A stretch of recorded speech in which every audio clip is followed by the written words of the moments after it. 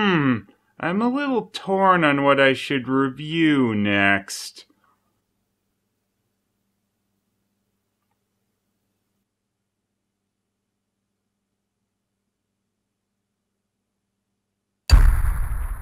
Well, who would have seen that coming? Oh death, oh death,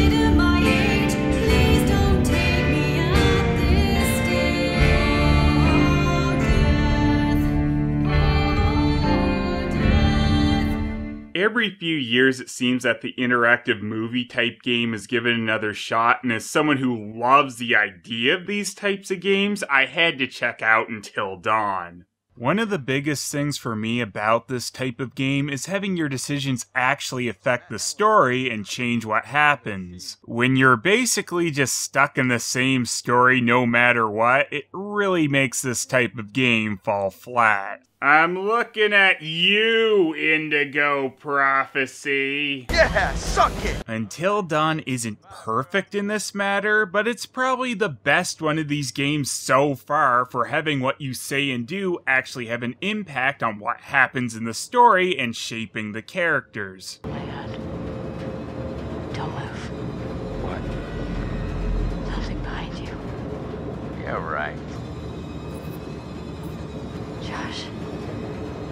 Seriously.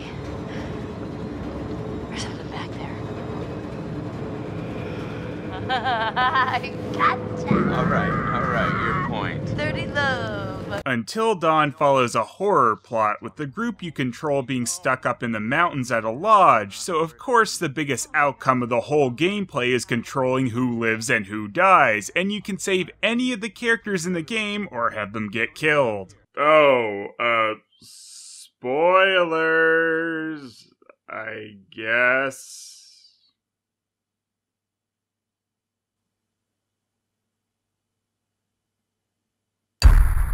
Yeah, in this narrative heavy game, it'd be a little hard to talk about a lot of it without spoiling a bit. Now that I've said there'll be spoilers, let me talk about some non spoiler stuff. Well, that choice didn't affect anything! Until Dawn follows the trend of motion capturing the actors for all the characters in the game and having them act out the scenes to get their exact reactions. Also, the actual actors' likenesses are used for the characters, and it's actually really neat to see how much they really do look like the person who played them. I am Hayden Panettiere, and we are here at the studio recording Until Dawn. Now, the characters have traits about them from the get go, of course, but depending on what you do and say with them, it might make them a bit of a better or worse person. Michael, you're a jerk. Come on! Guys, we're all friends here, right? No need for violence, just a little harmless fun. Michael, you gotta step off. Emily and I are together now, and that's just the way it is. I'm not gonna tell you again. Do we understand each other? Well, I thought maybe we could move past all this. Be buds, but yeah, fine. Michael, I'm just gonna lay it out. Otherwise, this whole weekend's gonna suck ass for everyone. Um, this is super awkward, and we all know it. Let's just uh, acknowledge it now and move on, okay? Matt. I hear you, man. I get it. I don't want to make this weird. Cool. That is, to a degree. I found that the two characters that you can change how shitty or nice they are the most were Ashley and Chris. So you're basically saying that we put a vulnerable friend in a terrible situation and, and essentially caused her to run away and never to be heard from again.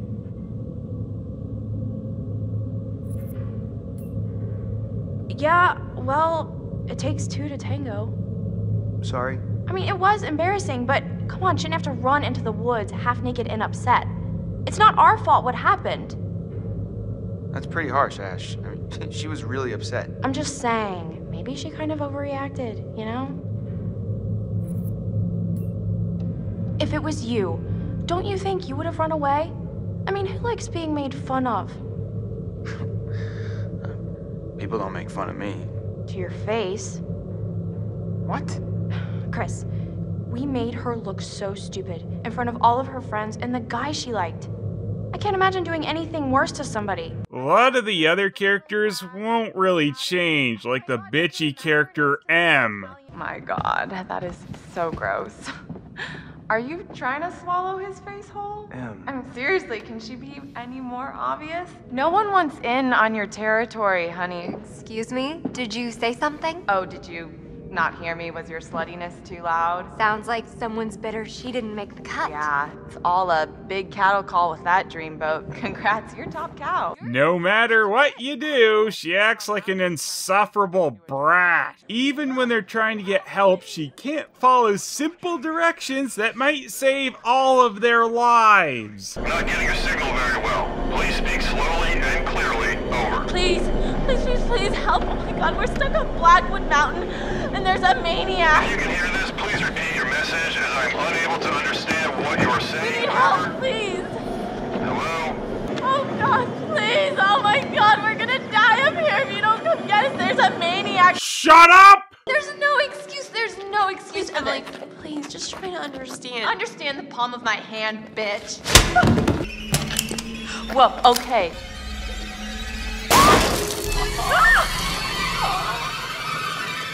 Holy shit! that was satisfying. what? Could have been worse. Could have thrown her in a grinder. Ah! Ah! Ah!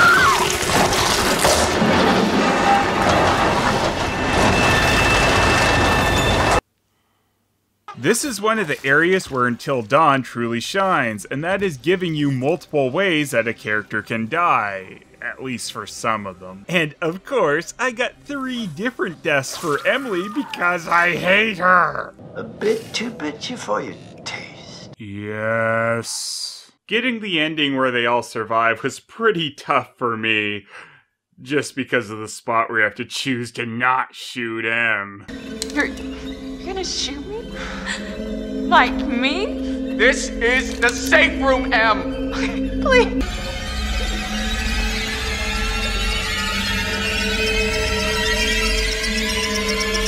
Fuck, I can't do this. Matt, you've gotta do something right now. What are you waiting for? I'm thinking! Let me think! Don't think, you idiot. Just get me out of here. Worth it! Now, another thing that can get your character killed is.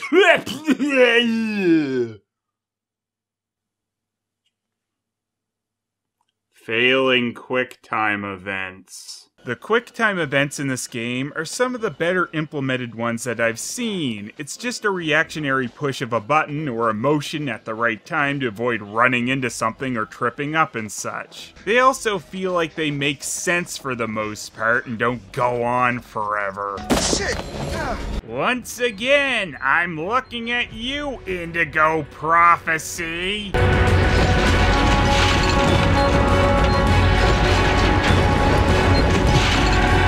Another large element of the gameplay is picking up items to inspect them. This is how you get clues that will give you more aspects to the story, or totems, which act as supernatural spoilers in a way. These will give you a heads up on an upcoming event so you can try and avoid a death or something. The controls for interacting with items are alright for the most part, but sometimes you don't realize you have to let go of a button to initiate further examination of an object, and you can have some rather doofy moments. Oh, a book! Uh, uh, what do I do with this? How do I book? Open it! Oh! I really like some of the tasks you have to perform in this game, like quickly locking a door behind you while being chased, or holding the controller still when prompted not to move, which is the one motion control aspect that still remains when you choose to play with the regular controls instead of the motion ones. But other times, some of these tasks feel more like busy work, or the game is just throwing you a bone to make you feel like you've done something in an otherwise giant cutscene. Which there are a lot of. Which makes sense as it's basically an interactive movie. That said, part of this game's appeal is to replay it and achieve different results. And well, not everything is going to be different every time, so it'd be kinda nice if in the start menu you could skip previously viewed scenes after a first playthrough. What would also be nice is a run button. There is a lot of walking in this game, part of which adds to the mood as you go through these atmospheric parts, and I get why they don't want you just blazing through them. But again, it'd be nice if after beating the game once, you could unlock a move faster option of some sort, because a lot of these areas in this game are pretty big. Like, look at this damn lodge on the mountain. I mean, sure, the people who own it are supposed to be pretty wealthy, but for fuck's sakes, this lodge never ends. It's got a dining room, a library, a giant bathroom, bedrooms all over, corridors out the butt, a garage, a theater even? And all that's before you even go down to the basement which just had me laughing about how many rooms just filled with junket head and if that's not enough for ya there's a cabin separate from the main lodge that two of the characters end up going to but no one said it was to be like a five mile hike to it. Seriously this path to the cabin from the lodge just keeps going and going and going there's even a dilapidated cabin in between the lodge and the actual cabin you're trying to get to. And this is a bit of a nitpicky thing, but it bothered me a little bit. You see that working light on this piece of shit broken down cabin? Guess what doesn't have power? Yeah. It does serve the plot that the actual cabin doesn't, but seriously, this has power and this doesn't. If these rich shitheads could afford to basically buy an entire mountain with the lodge that never ends on it, maybe they could have fixed up the cabin that actually properly receives power. Also, by the way, there's an electronically locked gate on this path. Seriously, an electronic gate that leads to a path on a mountain. Who in the fuck uses an electronic lock for that? It's the most impractical thing ever for the area, and uh, not gonna keep anyone out. Hey, it's locked. The hell? Who did that? Oh, except for Matt and Em, apparently. He couldn't possibly climb over that or anything. Luckily, we never see other characters just climb over things in this game, so they don't seem super silly here. Damn it, Josh.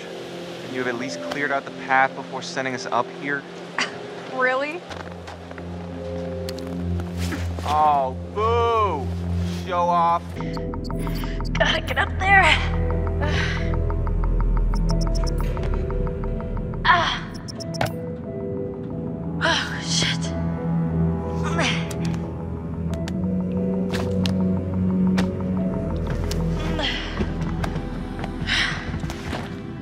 Ah, I beat you. I fucking beat you. Truly, it's this type of thought process that led to Matt dating Emily. For real, what is it with you and going back to the lodge? You just want to hide out in your room and cry. Certain parts where you have to walk around are definitely more interesting than others too, like walking around the cabin versus having to walk around the mines. You know, mine levels, they are some great. They're pretty much second only to sewer levels. Plus, you get the pleasure of controlling Emily whilst in the mines. Woo! It's truly the total package here.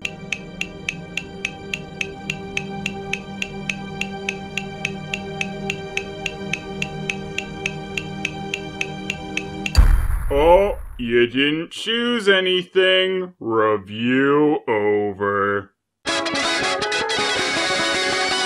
Anyway, the story starts a year prior to the main events of the game, with the group you're following pulling a stupid prank on Hannah here, who has a crush on Michael. They set her up to believe that he actually wants to be with her, just to reveal that they were all watching, which of course causes her to run off like an idiot into the cold and her twin sister Beth to have to follow. But during I Forgot It Was Really Cold Out Here drama time, something ends up chasing them and they end up falling off a cliff.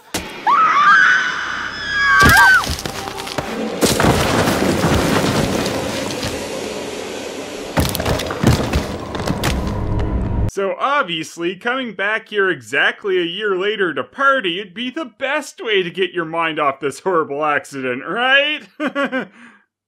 First off, I gotta say, I am super excited to welcome all my pals back to the annual Blackwood Winter Getaway. Ah! and this is set up by their brother, Josh. He seriously thought this was a good idea? I'm just, just joshing you. These people have some of the strangest parties I've ever seen, too, with part of the group getting sent off to another building due to an argument breaking out, some of the others breaking out a Ouija board. Oops, I mean. The spirit board. And Sam here. I'm gonna go take a bath. Truly, this is the party to end all parties. Then again, I've never attended a get together on the anniversary of someone who was close to me's death at the same location it happened, so maybe that's how these usually go. Now, every so often, you'll end up in a therapy session with Dr. Hill, who asks a character who's not revealed for a while about what they fear and what they felt about certain characters. And how you answer here affects aspects of the game as well. Like if you tell him you fear clowns the most, like a total dick, you'll have a clown in his office a bit later. You're sick! You're a sick fuck! If you say zombies, he'll change it to that, and he can actually start looking like a zombie near the end. His office also goes from looking pretty normal towards the beginning to very deranged as the story progresses. These sessions reminded me a lot of the ones you'd have with Dr. Kaufmann in Silent Hill Shattered Memories, especially as these games share a fair amount of ideas, and having the doctor ask the player questions through another character that isn't seen until later. But it's kind of the opposite revelation in Until Dawn, as the therapy sessions with Dr. Hill are revealed to just be in Josh's head. Now it's all about you, Josh. It's always all about you. Josh apparently was actually bothered by his sister's death and went to therapy sessions with an actual Dr. Hill at some point, but now these demented versions are continuing in his head. And really, this made me like his character a bit more than before, since earlier it just seemed like, hey, let's just go party where my sisters died. Josh's mental instability also played into the fact that he was the masked person going after the rest of the group for a while in the game and put them into some Saw like scenarios. Chris, you can take that gun in front of you and shoot Ashley, or you can shoot yourself. Whoever is left can live. I mean, how does that feel? Right? How does it feel? Do you enjoy feeling terrorized, humiliated? I mean, panicked? All those emotions that my sisters got to feel once, one year ago? Only, only guess what? They didn't get to laugh it off. No! Nope! No, no, no! They're gone! I'd have been happy if Josh's motives for having done this were solely about his sisters, but this point gets muddled rather quick. Come on, you guys are all gonna thank me when you guys become internet sensations. Wait, what? What? Oh, you better believe this little puppy's going viral, ladies and germs. I mean, we got unrequited love. We got, we got blood. I don't think there's enough hard drives in China to, to count all the views we're gonna get. Josh's recording of them during this shit is pretty ridiculous because he'd need a lot of cameras at the right place at the right time, which apparently he had since he's even got camera changes on some of the footage he shows. Also, he's planning on people following a lot of paths that they could easily miss to get this sort of point across. And he's got really elaborate things that he seems to be really hoping you'll bother looking at, like an old film projector with footage of the stupid prank from last year. Meaning he had to convert their digital video to film for this. Makes sense! What the shit?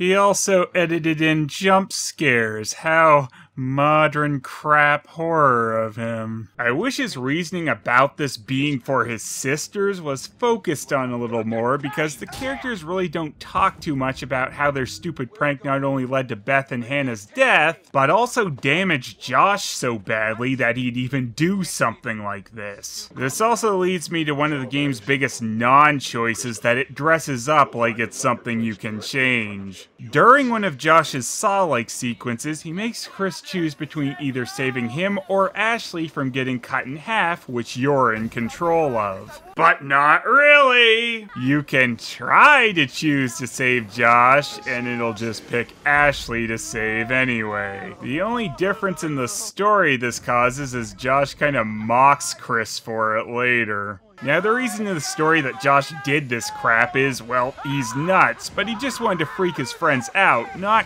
kill them, so none of his traps were actually gonna be lethal. Of course, all these stupid things he pulls could very easily lead to someone getting hurt or killed, but still, he's at least got a mentally unstable excuse. And it's nice he actually has a motive and being nuts wasn't his only reasoning behind everything, too. But no matter what, the blade cuts Josh in half here because he later reveals he had a fake body full of pig guts to pull off this trick. Which I gotta nitpick here, as his body clearly moved in ways it wouldn't if this were the case, and you can see his neck is actually attached in a way that it wasn't when it shows how he pulled this trick off. So if Josh isn't the real threat, what is?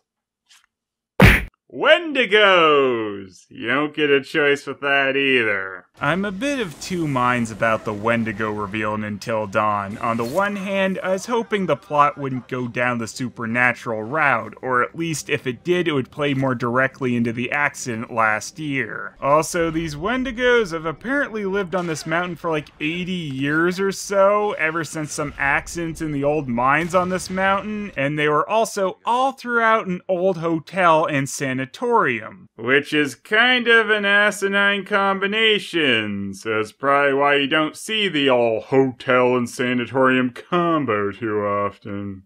So even though these Wendigos were experimented on in this sanatorium, no records of it ever made it off this mountain apparently, and no one ever checked why they stopped hearing from this hospital. Meanwhile, this rich family has a giant lodge and cabins built here while never having had one incident with these Wendigos the whole time until just recently. This could have been solved if these Wendigos had been trapped in something from during the event one year ago actually freed them. Now, on the other hand, the Wendigo showing up gets more action going on in the plot and does at least have some connection to the accident a year ago. As the old guy who knows the real plot but was a red herring villain earlier explains to you, someone will turn into a Wendigo on this mountain if they resort to cannibalism. And after their fall, Hannah was the only one who survived, but was stuck down in part of the mines and got desperate enough to eat her dead sister sister. I do like how gruesome of a revelation this is, but I don't feel like it's touched upon quite enough. When you hear about this, it's near the end of the game, and it's optional for you to find Hannah's diary that actually spells this out to the characters. It just would have been nice if after finding the diary, the characters who were still surviving talked about this revelation a bit right before the end.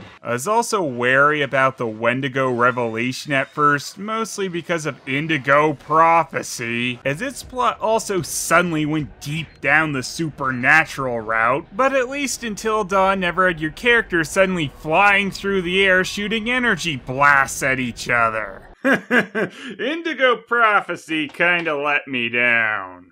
I was much happier overall with Until Dawn's execution of the Wendigo plot because they were the only real supernatural element in the game, so that kept it a little more grounded than what Indigo Prophecy did. While I do really praise this game for giving you all these choices that affect the story, I still really wish that you could branch out what actually happens more than you really can. Like I've said, Chris and Ashley are the two characters it seems you can change the most based on your actions, but still, Chris acts a bit obnoxious at times.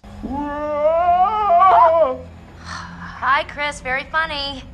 Oh, how'd you know it was me? Come on! Why are these doors locked? to, to keep out strangers. Hey. What? Hey. What the hell? Boom. You just got mugged. What? Oh, shit. No. Hope this is not Chris's blood. There's a few times you can fuck with animals, like have Chris be a prick and shoot a squirrel for no reason, or have Matt ask a deer a question, and this tends to lead to something bad happening. Get back! Ah!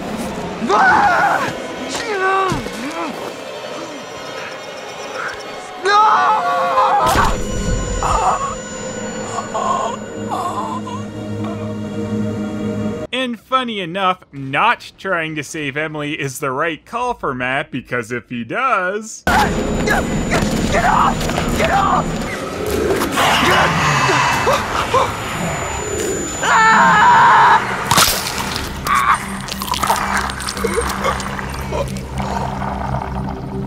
Ashley can either be really sympathetic about what happened with Beth and Hannah, or not so much based on what you have her say, which is why her personality seems like the one you can change the most. Also, in one of Josh's fake death traps, Chris can choose to either try and shoot himself or Ashley to save the other from the saw blades being lowered on them. If he fires what ends up being a blank at himself, Ashley will really appreciate that Chris was willing to try and save her over himself, but if Chris attempted to kill her, well, she gets pretty cold. Ash! Ash, come on! This thing is right behind me! Please! Let me in! Ash! What, what, are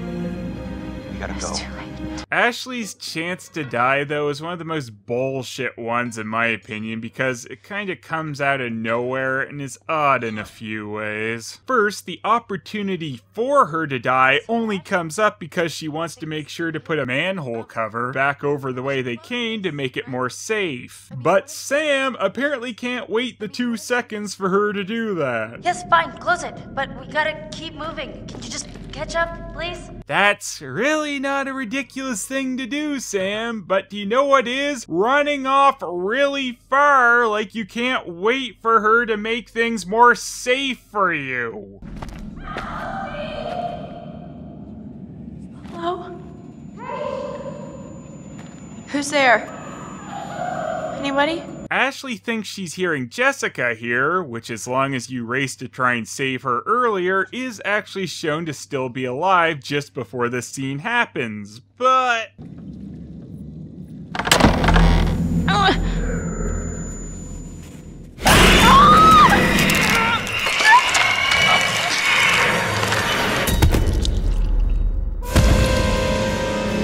Now, there is a note in the game that mentions that Wendigos can mimic human speech, but it never actually comes up in the main gameplay, so if you never see this note before this, you have no indication here that this is something they can pull out their ass. It just would have been nice had there been some scene somewhere with a Wendigo mimicking a voice to give you a slight inclination that this might be what's going on here. Then it also wouldn't be so weird that this is the only time a Wendigo tries to trick someone with some voice mimicking. And this is one of the spots where I don't feel that certain decisions were thought through as well for the story, because if Ashley dies here, Sam just seems to forget about her and the fact that she was supposed to be right behind her. If you help me up, I can go back to tell the others we're okay. Who? There's no others. They're all dead. Yeah, certain lines like that still get said, even if the story you've unfolded makes them make no real sense. Which kinda goes with the I wish the story branched a little more criticism, because this should probably call for Sam to do something else at this point instead of trying to go to tell no one what's going on. Boom. Butterfly effect. Similarly, the point where Emily can get shot is because she was bitten by a Wendigo, and the group fears it might be infectious and that she could turn into one. But after this event happens, Ashley reads a book on them and finds out that no, their bites don't infect you, and freaks out a bit because, well, blowing your friend's head off because you thought they did kinda sucks. Oh no, no, no, What? no, no. What is it? What does it say? But what if Emily never makes it back at all and you never have the scenario about the bites being infectious or not? Oh no, no, no, What? no, no. What is it? You'd think in this case it'd be more of a good news thing that if you do get bit by one of these Wendigos, you won't turn into one. Also, I do rather love that after losing it because of Emily getting shot, the characters get really nonchalant about her corpse just sitting right there. Then again, it is just Em, so I kinda get that one. Another point kind of like this is Mike and Jessica's relationship. Depending on certain actions, Jessica will either like Mike more or less. Ah!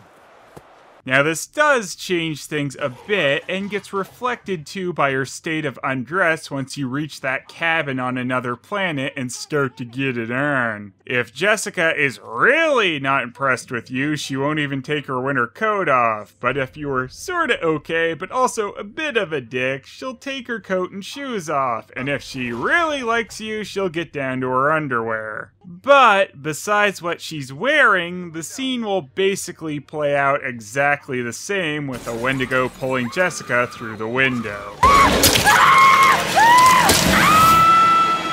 Also, I gotta mention this. A Wendigo apparently throws Jessica's missing phone through the window of the cabin, and Mike is just ridiculously casual about it.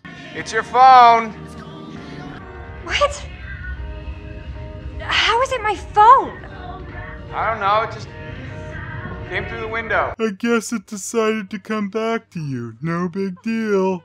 And another not very branchy thing about this part of the story is Jessica basically acts like she's still very into Michael during a lot of the scenes, regardless of what you've done. She'll be annoyed momentarily if you do something stupid with Mike, but then it's kind of back to, well, I can't wait to fuck until you're actually about to. When Mike is exploring the sanatorium, he can make friends with a wolf, which is awesome because who the hell doesn't want a wolf pal? Or he could decide to be addicted to the wolf and it won't be too friendly. Hey, big guy. Happy to see me again, huh? I was hoping I'd run into you again. All right, pal. Come with me. All right. Here's the plan. Oh, I happen to see a map of this place, so we're not flying blind. There should be a way through the psychiatric wing that'll take us right outside the mine. I love too that it looks like the wolf is actually listening to and understanding Mike in this scene. Mike kind of starts off like he's going to be a bit of an obnoxious bro type of character, but he actually develops and becomes pretty likable. And I tended to like a lot of his quips while he is going through some of the pretty awful shit in the sanatorium. Isn't this a quaint little psycho crib? There goes nothing. Awesome.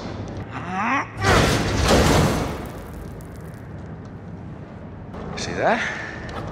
That dude got moves. Mike's definitely more humorous than Chris. What in God's name are you wearing? I found my true calling. Hmm. Please tell me you're gonna take a vow of silence.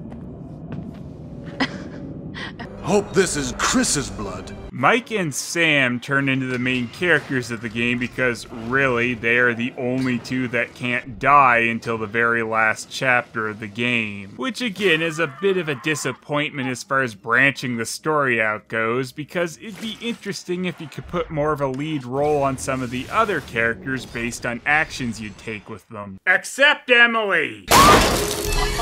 I'm glad at least besides her, you can get into these characters pretty well as the story goes along, and unlike a lot of modern horror, you don't feel like you're stuck with people you'd just rather not bother with. What are you doing? Well, actually, the towel didn't turn out to be the best outfit for fighting off killer maniacs, you know? Emily's the major exception to a degree, but I think it's good in a game like this they gave you a raging asshole to have the option of having something horrible happen to. Really, it's like the game punishes you the longer she lives because out of all the characters, she seems to be the only one who doesn't grow from the life and death experience they endure. I've played through Until Dawn three times now and done some other partial playthroughs just to explore around with what you can change, and because it was fun and interesting enough for me to go through it the multiple times like that. While Until Dawn does an amazing job in some areas, overall the story you play isn't going to change all that much. You'll get some different responses or extra scenes based on what you do, but like I've said, the main changes really come down to the characters' deaths, and those are really determined in the last half of the game. Also, I wish there was some more variance to the endings because all it does is show you the surviving characters being interviewed about what happened, or it'll show you their death if you got them killed off, and that's it. It'd have been nice if there were some actual completely different endings to achieve besides this. The biggest change you can get really is if you get Josh to realize that one of the Wendigos is Hannah. If you do this, you'll get a scene with him turning into one as well after the credits. I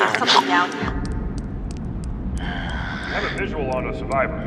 One survivor, repeat. Is that? Stay back! Stay back! No, no! Stay back! Overall, if this type of game is interesting to you, you should definitely check it out because it does a lot of things really well and it looks really nice. Just don't expect a completely different experience every time. It's just a slightly altered one. But, of course, the main thing is.